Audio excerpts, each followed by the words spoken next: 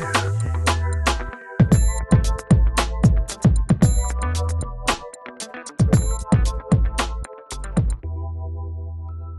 Hey everyone, Christina here for Card Player TV. It's the end of the year, so it's time for the World Poker Tour 5 Diamond Doyle Brunson Classic. Last year, Chino Rheem won this event after he defeated Justin Young heads up. It's day one and play is about to begin, but before it does, we caught up with Eric Baldwin, who is currently leading the Player of the Year race. Eric, congratulations on winning the $1,000 rebuy. Tell me about that tournament. Uh, I ran really hot. Might have been the, the best I ran all year in one tournament as far as like winning my all-in pre-flops.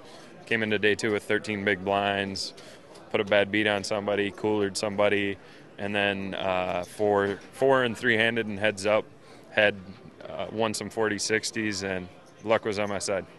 So exactly how many Player of the Year points was that? Um, 792.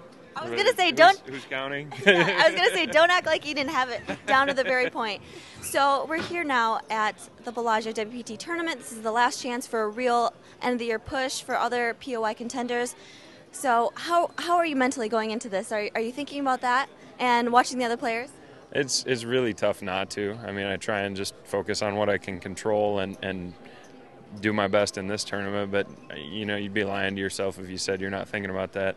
Uh, I've got all the math calculated based on how many players get in this tournament, what what place Cornel or Yevgeniy need to pass me, and uh, What is it? uh, assuming the tournament gets around 400 players, uh, that guy needs uh, top four, and Yevgeniy needs top three to pass me. I'm, I'm hoping to do well myself, so it's a non factor. You see either of them at the table. Are you going after them? I don't know. That'd be. Uh, there could be some interesting dynamics. I, I don't want to tell him he's right behind us. All right, thank you so much. Thank you. There's only one day one, but registration is open for the first eight levels, which will go until tomorrow. Thanks for tuning in. I'm Christina for Card Player TV.